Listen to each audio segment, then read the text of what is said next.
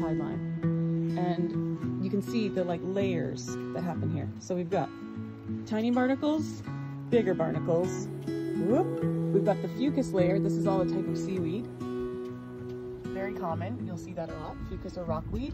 And then we have like another little layer of like smaller barnacles. And then this black stuff is a type of like algae, fungus, lichen and it lives at the top and it even gets the spray from the big waves come up and even them they are they're there specifically because they get that high spray layer.